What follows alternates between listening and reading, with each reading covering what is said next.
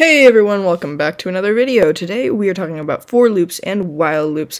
Since we have quite a few things to touch on today, we're going to briefly touch on each of those, but this is going to give you an overview of loops, which are super important to your Roblox game. Hope you're excited. Let's dive right in. Okay, so the first thing we're going to do again is we're going to insert a script into server script service. I'll name the script loops script. Perfect. So first we're going to talk about for loops. And what are for loops?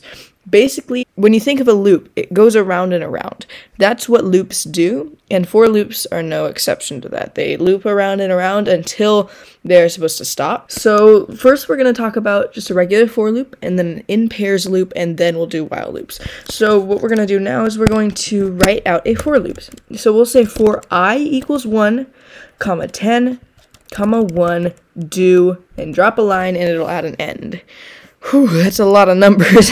so, what this is saying is we have created this new variable called i. You can name it whatever you want, um, but usually you keep it at i. That's typically what it is. Um, so you're creating this new variable called i, and each of these little commas separate a specific thing. So the first one is just setting our variable. i is equal to 1.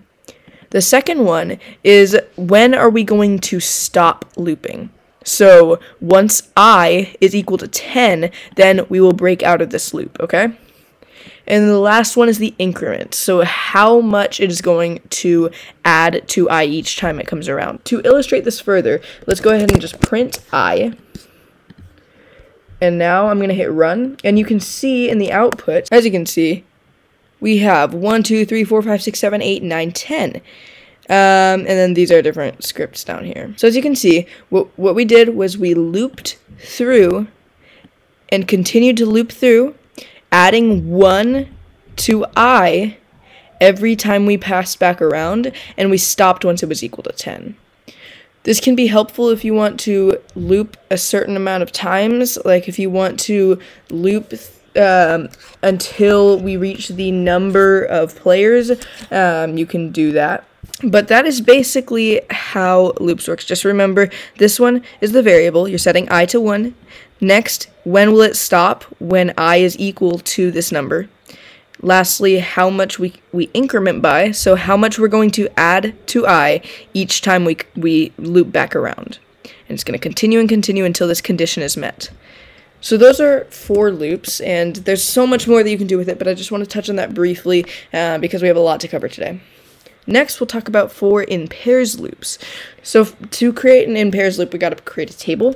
So we can say local my table equals to this, and let's just uh, I'm gonna create my um, my YouTube table again. Perfect. So now I have my YouTube table. These are just brief. Uh, this is a brief, quick table, and we can say for i comma v in pairs, my YouTube table, do, and there we go. So what this kind of loop does, this is going to loop through everything in our table. So what all these mean is we are doing for. So for means we're going to start looping through it. Um, I comma v. So these are two different variables now. I is the number we're at. So once when it loops through, it's going to find CodeBro29, then it's going to find true, then it's going to find 8000. CodeBro29 is 1 true is number two, and 8,000 is number three, right? It's the spot in the table that they're at. That's what I is, the spot in the table that it's at in the loop. And V is the actual item itself, so what actually is in the table. So if we were to print V, um, let's just print I, and then print V. And it's going to loop through all of these items. And if we look down in the output, we have 1, CodeBro29, right? Spot 1 in the table. 2, true. That was spot 2 in the table. Spot 3, 8,000. So as you can see, that's what these loops do. That's what I was talking about last time when I said we'll be able to loop through tables. And something you can do, I'm going to show you a couple quick things. Uh, we're going to do get children, get players, uh, or sorry, um, yeah, get children, get players, and get descendants. I'm going to show you those real quick. So, what am I talking about? Well, we can say something like local workspace children equals to game dot workspace. So this is our new variable. And it is equal to game dot workspace colon get children. When you write this, it is creating a brand new table with all of the children inside of workspace. Okay, so everything inside of workspace is now in this table. And what we can do is we can loop through this. So for i comma b in pairs, workspace children do. And you can say print, let's just print v dot name. Since these are all uh, items, let's just print the name of the item. Because all of these different things in the workspace have a name.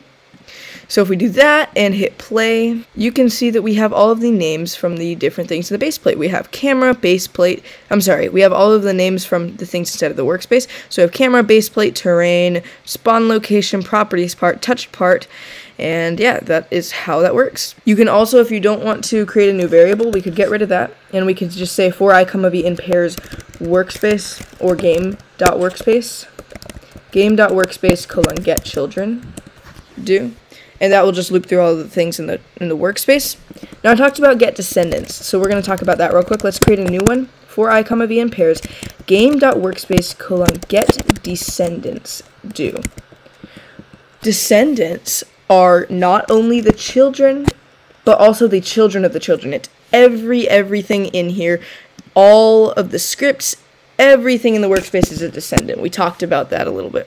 So if we get descendants, it's going to create a new table with all of the descendants, and it's going to loop through that table. So if we wanted to, we could also print v.name.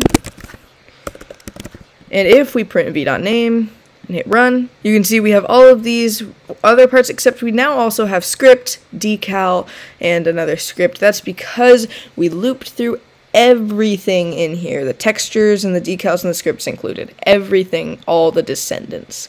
Now there's uh, one other one. There are so many others you can do but there's one other one i want to show you because this is really helpful and i use it all the time. It's get players. So we can say for i comma v in pairs game dot players colon get players do. And now it'll create a brand new table with all of the players in the game. And you could do whatever you want. You could print v.name if you wanted, and that'll print the players' names, all of the players' names. And we can start manipulating the players and doing things with them in another episode. But uh, that's just, those are get children, get descendants, and get players. They create new tables that you can loop through with a for in pairs loop, okay? All right, the last loop we're going to touch on is a while loop, and um, these are similar to a for loop, but instead of stopping at a condition like 10, once i is equal to 10, we can do that, but we do it a little differently. So we say while, let's just say while 1 plus 1 equals equals 2 do. So while 1 plus 1 is equal to 2, we're going to continue to do this. And we can just print hello and super, super important, wait one, or else your computer is going to crash. Because if you don't wait at all, this loop is just going to continue to run and run and run and run forever. Um, because, at, like, quicker than quicker than a second. It's just going to continue to loop through and over, over and over and over because 1 plus 1 will always equal 2. So if we hit run, you'll see every second it's going to print hello, hello, hello, hello. And as you can see, it's printing it every second. And yeah, so that works. So those are while loops. And um, but what if you didn't want it to run forever? Well, you could check a condition. You could check um, if game.workspace. Um, and then we haven't touched on that, so actually I'm going to do something else. So we can just say if um, game.lighting.time of day equals equals 14 o'clock. I think that's what we set it to. Yeah, it's 14.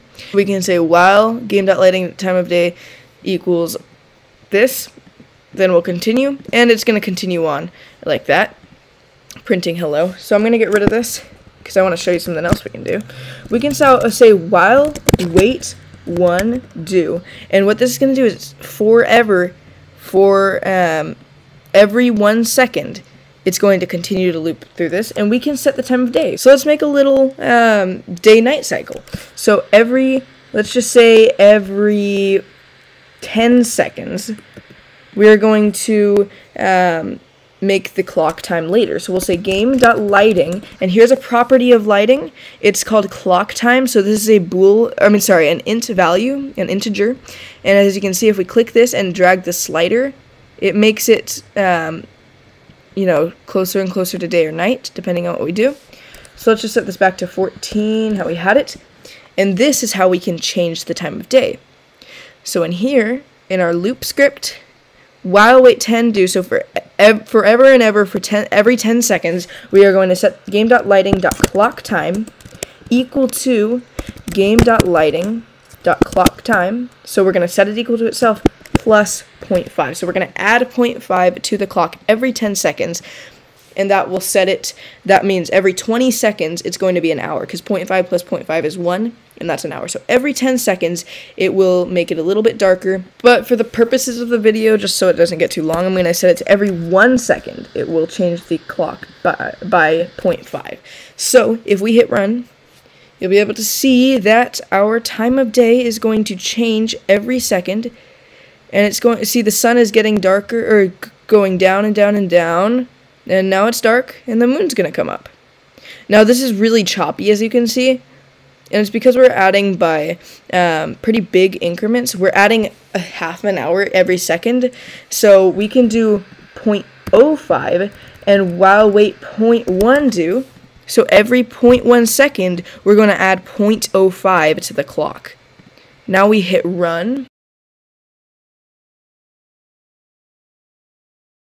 And now we can see that it is starting to move. It's moving, but it's moving at a, at a, uh, at a slighter pace now. And now it'll look more and more like an, a normal day and night cycle. Obviously, this is pretty fast. You would want to wait uh, a lot longer than this before you um, have the day and night cycle do that. So the way you would change that is just by changing uh, this number right here. So maybe every 10 seconds it'll add 0.5 to the clock, and then that'll be uh, within like I think it should be about 10 minutes, maybe longer, is a full day cycle. Um, but uh, I'm not gonna do that math right now, but you can. One other thing you can do, and if you don't want it to do this, you can also say while true do, and that will just also forever and ever and ever. But that way, we need to add a wait down here. Otherwise, it'll crash our computer once again. So I'll add, wait 0.01 seconds. Every 0.01 seconds, it's going to continue to loop and loop and loop and loop and loop forever and ever until we break, which is the last thing we're about to learn.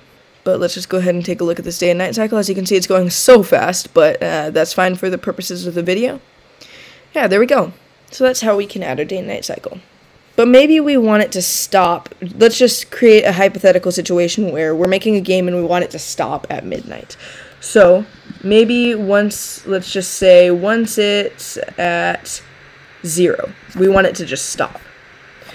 So I'll set this to one to start, and we'll go into our loop script, and we'll say while do, and then after the wait, uh, right before the wait 0.01, we'll say if game.lighting dot clock time equals equals zero then so we're looping through and if it's equal to zero and it will be at some points we can say break.